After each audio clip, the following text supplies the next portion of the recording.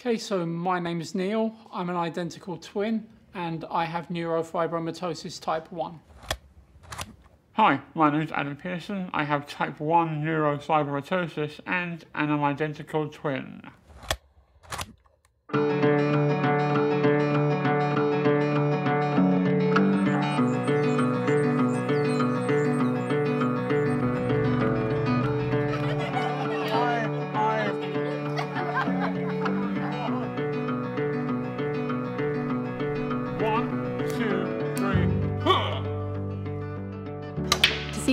See twins, it's been fascinating. They've always been very combative. I mean, do you plan on winning anytime soon? You're like a dog chasing a fire truck. You're never going to get there. Come on, let's hustle! Ah! Sorry. There you go. okay. The boys are both supposed to be in bed. My neighbour rings the doorbell. She says to me, Do you know your boys are out on the flat roof? And that's the sort of thing I had to put up with.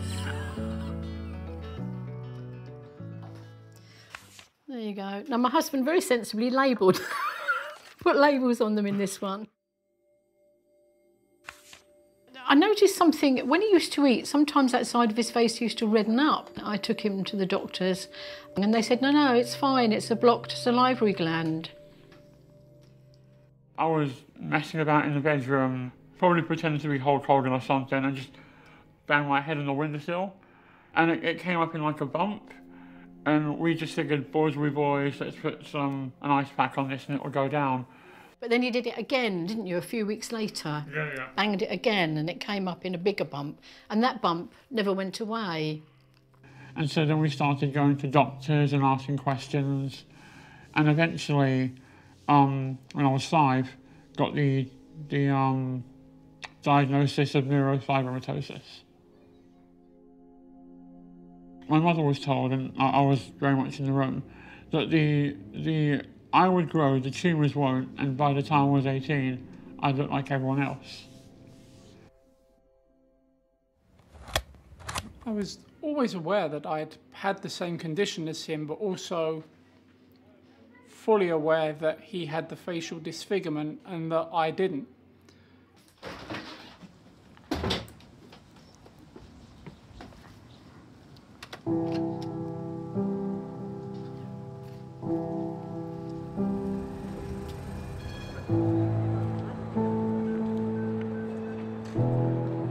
So visual. I'm very rarely invisible. Kind of walking down down the street, people kind of can kind of stare.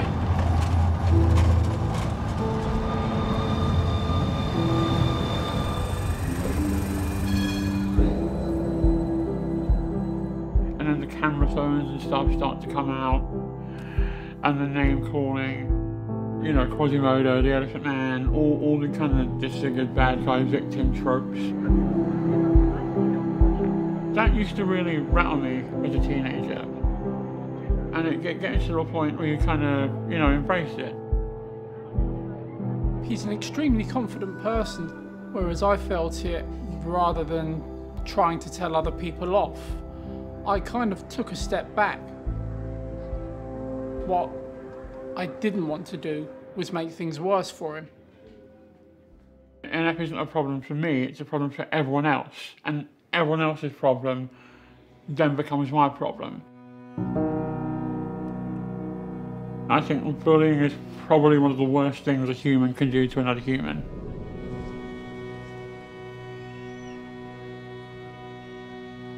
There was this one time where I was at school and one of the one of the kids said, oh, the teacher wants to see you in a classroom. And I went into this classroom and just got completely ambushed by like a bunch of kids. They shoved me around a bit, spat on me a bit, and then I kind of come running out the classroom.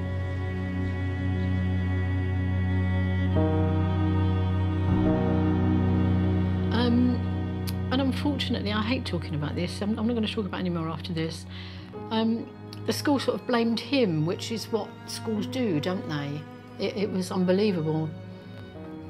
Um, and I do, you know, I have a heavy heart when I think about that.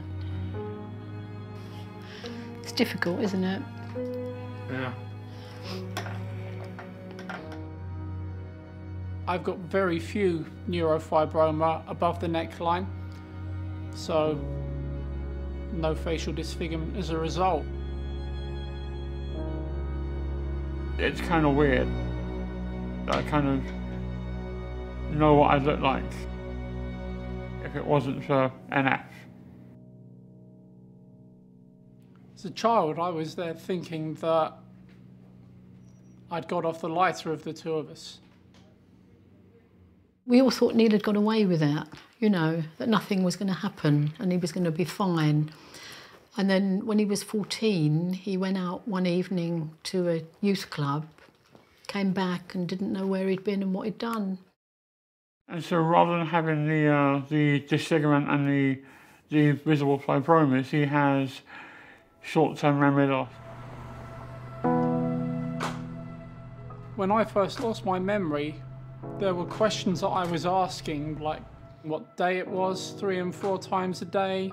I remember one time being asked to take something upstairs about three or four times, and lo and behold, it was still on the stairs.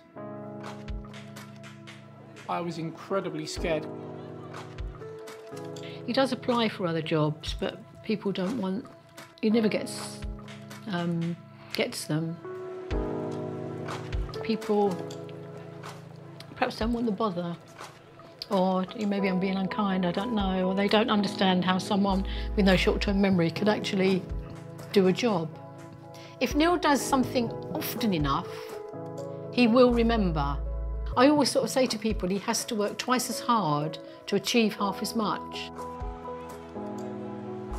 And then a year later, he developed epilepsy. First fit I ever had was actually in my sleep in a hotel and being told that Adam had said that I'd been making swinging movements in my sleep and wasn't responsive. And that's, that's how it's been. And, you know, they just can't get him seizure free. This is the, the bizarre thing about um, NF, which is why all this research is really important. That there's no kind of one size fits all model. Everybody gets affected differently and everybody has to deal with it as best they can.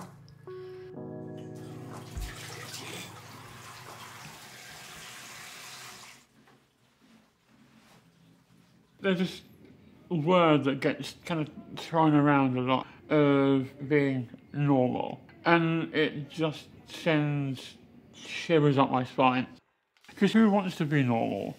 Who on career day at school just looked their teacher in the face and went, just want to be average, just plain old vanilla. That's what I want, miss. No. Right now we're at my uh, college where I did my A levels. This is where things kind of turn around from secondary school. This is where I've tried to stop being cool and kind of be me, if that makes sense. It's where I kind of realised in my whole life trying to be someone I'm not. So I just thought, kind of, let's just be the best me I can be and do what I feel like is the right thing. Adam Pearson has a rare disease which left his face covered with non cancerous tumours. He's an inspiration and he joins us now live from London. A very good morning to you, Adam. I think people are more aware now than they were, and I think most of that is because of the twins themselves, and particularly Adam's ability to communicate and to overcome such obvious disability. in a really messed up way. And that has been the making of me. With, without it, I reckon I'd be a, a shell of the person I am. Play big smile. I have a happy life, I have a full time job that's well paid, and if a fit happens, it happens, so be it. It's not going to get me down. You've got to live the life you've got rather than pondering over the life that you wanted. They carry their disabilities with very broad shoulders. You know, they never make a meal of it and they're never self pitying or anything. You know, this is what's happened and we'll embrace it and move on. Marilyn, their mother, has really devoted her life to this and has helped them to achieve so much. It doesn't matter what happens to you, your children, it's not the end of the world. There is always a way. Currently, there is no cure for NF. So I think it's significant that we do keep pushing the research forward so that we can find a cure. And I think NF, no NF, everyone has the ability to change the world in their own way. So I think we need to, you know, help people go out and change it.